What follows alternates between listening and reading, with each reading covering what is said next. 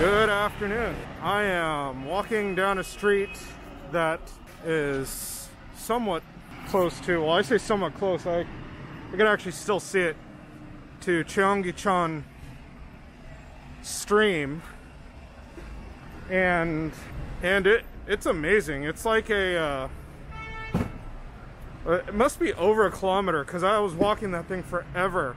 It has all these waterfalls and crazy bridges. Really easy to walk, really easy to get around. Really pretty area. And it's crazy because it's in the middle of all these skyscrapers. There's just this like stream that goes through. And it's it's amazing. Like I don't know how to describe it other than it's totally worth just taking a, a nice quick stroll down. And so after that, I actually went up at one of the bridges, one of the main bridges actually, and there was a tourist information center there. And right before that, I went to go get coffee at a cafe called Cafe Kama.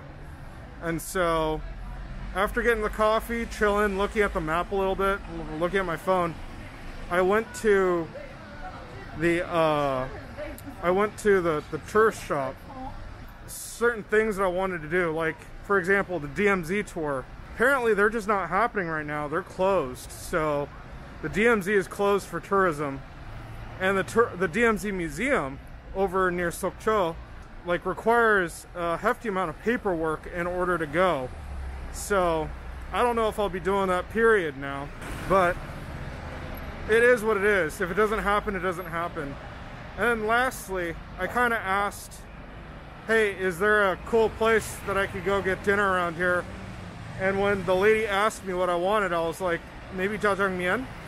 And she kind of recommended this place called Ogos, Ogus.